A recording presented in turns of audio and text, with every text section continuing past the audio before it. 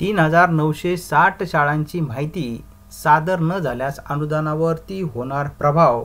नेमकी कोणत्या शाळा आहे कोणती माहिती ही मागवलेली आहे आणि कोणत्या शाळांनी ही माहिती दिलेली नाही आहे आणि कशा पद्धतीने शाळा अनुदानावरती याचा प्रभाव होऊ शकतो? या संदर्भातील नेमकी कोणतं पत्र हे आलेलं आहे त्याची माहिती आज आपण या ठिकाणी बघणार आहोत. पत्रात नेमकी काय सांगितलेलं आहे ती माहिती आज आपण बघणार आहोत. समग्र शिक्षा महाराष्ट्र प्राथमिक शिक्षण परिषद मुंबई यांचं दिनांक बारा एप्रिल दोन हजार तेवीस रोजीचं पत्र प्रति शिक्षण संचालक माध्यमिक शिक्षण संचालनालय महाराष्ट्र राज्य पुणे यांना निर्गमित करण्यात आलेला आहे. विषय आहे सन दोन हजार बावीस तेवीस यू डायस प्लस ऑनलाईन प्रणालीमध्ये तीन हजार नऊशे साठ शाळांनी विद्यार्थ्यांची माहिती भरली नसल्याबाबत.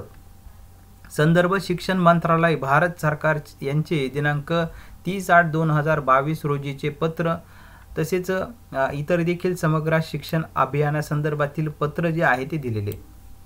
या पत्रामध्ये स्पष्ट सांगण्यात आलेलं आहे की उपरोक्त विषयाच्या अनुषंगाने भारत सरकार शिक्षा मंत्रालय यांच्याकडे राज्यातील सर्व शाळा विद्यार्थी व शिक्षक यांची माहिती यू डायस प्लस सन दोन हजार बावीस तेवीसमध्ये सादर करणे अत्यंत आवश्यक आहे.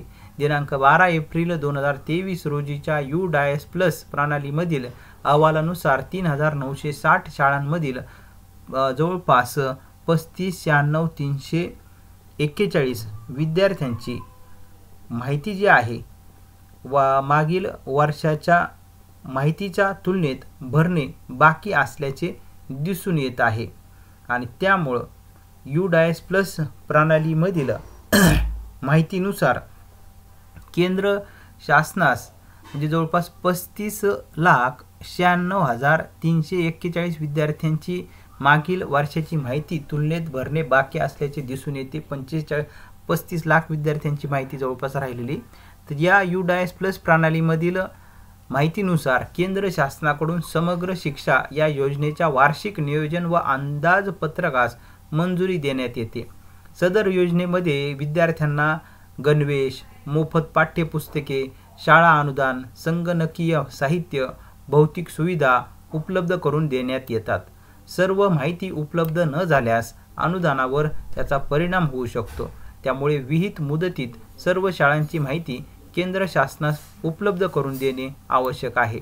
भारत सरकार यांच्याकडे भारत सरकार यांच्याकडे दिनांक चोवीस एप्रिल दोन हजार तेवीस रोजी प्रकल्प मान्यता मंडळांची मीटिंग आयोजित करण्यात आली आहे. मीटिंगमध्ये यू डायस प्लस माहितीबाबत आढावा घेण्यात येणार आहे. सदर मीटिंगपूर्वी राज्यातील सर्व शाळांची माहिती अंतिम होणे आवश्यक आहे. त्या अनुषंगाने आपल्या स्तरावरून याबाबत आढावा घेण्यात यावा व माहिती तात्काळ भरण्याकरिता सूचना देण्यात यावी. सोबत यू डायस प्लस प्रणालीमधील बारा एप्रिल दोन हजार तेवीस माहिती अहवाल व विद्यार्थ्यांची माहिती न भरलेल्या शाळांची यादी कैलास पगारी भा प्र से राज्य प्रकल्प संचालक म प्रा शी प मुंबई.